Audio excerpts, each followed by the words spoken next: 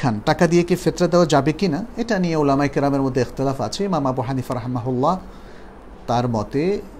টাকা দিয়ে ফেতরা দেওয়া যাবে এবং তার পাশাপাশি আরও কতিপয় ওলামাই কেরাম এ মত পোষণ করেন। তবে জমহুর ওলামাই কেরাম যেমন ইমাম শাফরি ইমাম আহমদ ইবন হাম্বাল এবং আরও অনেক ওলামাই কেরাম তারা বলছেন যে রাসুল্লাহ সাল্লাহ আলিয়া আলাইসাল্লাম যেহেতু জাকাতুল ফেতর হিসাবে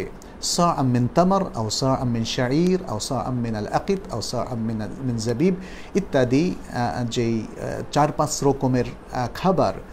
তৎকালীন মদিনা সমাজে পাওয়া যেত, সেটাকে নির্ধারণ করে দিয়েছেন এক সর পরিমাণ। এবং আবু সাইদ খুজুর রাদি আল্লাহ তাল্লাহর হাদিস, যেটি বোখারিতে এসছে সা আমিন তাম এক সর খাদ্য সরাসরি বলেছেন। সবগুলো হাদিসে খাদ্যের কথা বলা হয়েছে, অতএব খাদ্য দিয়েই জাকাতুল ফিতর আদায় করা, এটাই হচ্ছে প্রফেটিক ইনস্ট্রাকশন বা নবী সাল্লাহ সাল্লামের নির্দেশনা। নবী সাল্লাহ সাল্লাম বিষয়টা আরও খোলাসা করেছেন ইবনে আব্বাস রাদি আল্লাহ তাল আনহু থেকে বর্ণিত হাদিসে, যেখানে তিনি বলেছেন যে মানে জাকাতুল ফেতের এটা দিতে হবে দুটো কারণে। এক তোহরাত আলী এমে মিনাল্লাকবি ওয়ার রাফাত, যে এই জাকাতুল ফেতের দেওয়ার মধ্য দিয়ে ব্যক্তির সিয়ামের মধ্যে যে ত্রুটিগুলো হয়েছিল, তা থেকে তাকে পবিত্র করা হয়। আর দ্বিতীয় হচ্ছে, তোমাতান লিল মাসাকিন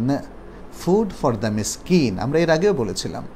ফুড ফর দ্য মিসকিন মিসকিনদের জন্য খাদ্যদ্রব্য প্রোভাইড করা, সরবরাহ করা। তাহলে জাকাতুল ফেতর হচ্ছে মিসকিন বা দরিদ্র ও দুস্থ যাদের কাছে খাবার নেই, সেই সমস্ত লোকদের খাবার প্রোগ্রাম ফুড প্রোগ্রাম তো যেটাকে রাসুল সাল্লাহ সাল্লাম ফুড প্রোগ্রাম হিসেবে চিহ্নিত করেছেন, যদি পৃথিবীতে ফুড না পাওয়া যায়, শুধু টাকাই আছে, শুধু সেই অবস্থা ছাড়া বাকি সব অবস্থায় ফুড দেওয়াটাই হচ্ছে বিধান, এটি হচ্ছে সন্ন্যাসম্মত ইনস্ট্রাকশন আচ্ছা महमूद